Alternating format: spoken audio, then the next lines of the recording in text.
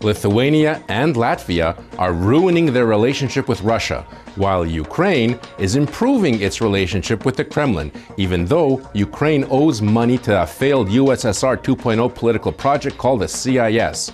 Russian media outlets muddy the water.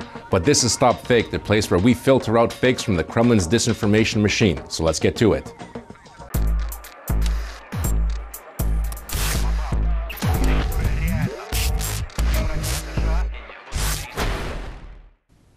Lithuania and Estonia, the only two European Union countries willing to ruin their relationship with Russia because they've been speaking out against the Kremlin policy of handing out Russian passports like candy in areas of the Donbass currently occupied by the Russian army and their proxies. At least that's what Russian media were spewing in the wake of statements issued by the foreign ministers of the two Baltic states, saying that they would not recognize these passports.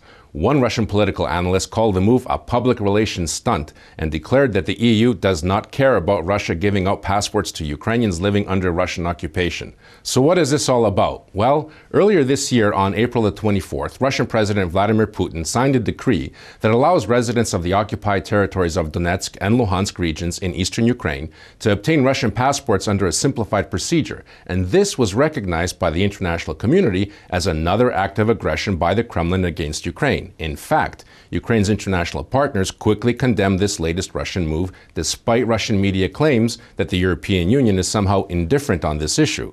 The U.S. Embassy in Ukraine described Putin's decree as absurd and destabilizing, while Special Representative Kurt Volker called the move provocative and contrary to the Minsk agreements. Meanwhile, French Ambassador Isabelle Dumont also said the move contradicts the peace agreements, and during the EU summit in June, European Union member states expressed their support for Ukraine and collectively condemned Russia's actions. And not surprisingly, Russian media conveniently forgot to mention that Brussels is preparing retaliatory measures that will not recognize Russian passports issued in contradiction of the Minsk agreements. Estonia has already taken that decision, as has Lithuania, and both countries are actively lobbying for such non recognition to become official EU policy. Sputnik, RT, Gazeta.ru, Komsomolskaya Pravda had a moment of schizophrenia induced by their own disinformation. They were busy this week disseminating fake stories claiming that although Ukraine closed its airspace to Russian aircraft in 2015, Ukraine nevertheless was allowing Russian planes access. What happened? Well, because of a fierce thunderstorm on August the 7th, a Russian aircraft flying from Bari, Italy to Moscow requested permission to fly over Ukraine, and the Lviv Air Traffic Control Center granted the flight permission. In a Facebook post, Russian Foreign Ministry spokeswoman Maria Zakharova thanked Ukraine for allowing the flight through, and Russia's Federation Council Committee on Foreign Affairs Representative Vladimir Jabarov called the decision by Ukrainian air traffic controllers humane. Here's the problem. Even a humane decision can be turned into a propaganda trick by Russian media as they rush to interpret this one event as a step towards improved relations between the two countries. So was the ban on Russian aircraft in Ukrainian airspace ignored?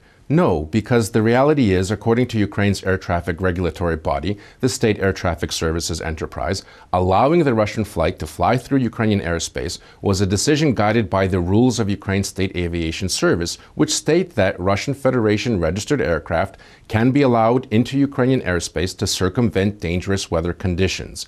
The ban on Russian flights through Ukrainian territory has been in effect as of November 26, 2015, and remains in effect today. So allowing the Russian plane to fly through Ukrainian airspace was not an act of individual initiative or largesse, but simply one that adheres to existing legislation and civil aviation rules. The website Ukraina.ru, the premier purveyor of propaganda, published a story claiming that Ukraine has not been paying fees to the Commonwealth of Independent States, the CIS, since 2014, and that although Ukraine does not have a representative to the organization, it adheres to a number of CIS agreements. And the Russian Foreign Ministry, meanwhile, claims that Ukraine owes the CIS 300 million rubles, or some $4.5 million in back fees. Now, legally, Ukraine is not a member of the CIS. Why?